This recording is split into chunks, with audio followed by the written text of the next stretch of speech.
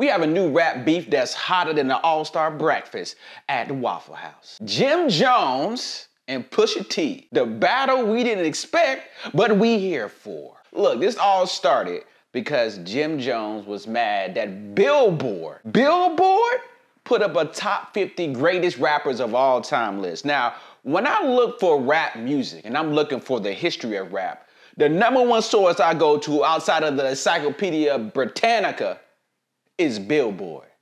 Why would we listen to anything that Billboard says when it comes to rap? All right, they just take the most popular rap and like, oh, yeah, yeah, okay, cool. All right, so Jim Jones got mad at this list because Pusha T was on it and he was not on it. And so he said on the Breakfast Club that Pusha T is a not top 50 rapper. He said on the Breakfast Club that Pusha T is not a top 50 rapper. Jim, are you crazy? Are you crazy? Now, look, being me, I'm a hip hop bar giver. I give it up to one of the greatest spitters of all time who actually writes his rhymes. Jim, also, I do love Jim Jones. All right, he started just as Cam'ron's homeboy. But I will say this Jim Jones has put up the most authentic New York music in the past five years. He ain't doing no drill. All right, he doing straight up New York music. He wasn't doing down south beats. He was doing New York music, fam.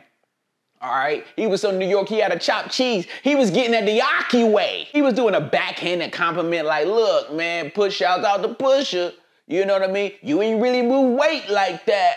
Okay. Also, you know, it's cool, but you know, you not top 50. Nobody knows five songs. He asked the Breakfast Club, name five Pusha T songs. Can you recite them back to back?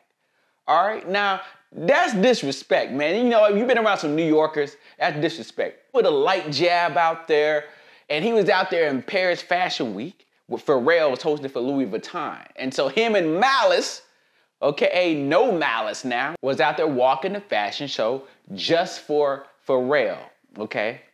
But when he was walking on the runway, he was playing this diss song. This is light for Pusha. All right, we already know Pusha put away people. All right, you know, Pusha did his thing, went against Drake, the one you guys love and adorn. All right, your, your, your magical Drake, your God Drake, and finished him. Finished him, finished him.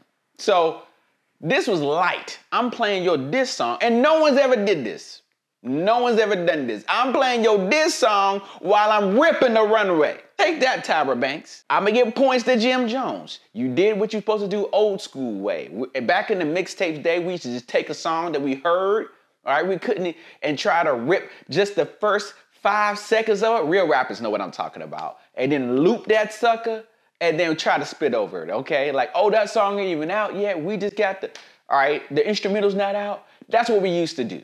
That's what I'm saying right now is I give props to Jim for doing that. Like I give props for him ripping the song and freestyling over it, giving out just one verse. But Jim, you know when you mess with the bull, you're gonna get the horn. So you can't sit here and throw a light jab out to Pusha.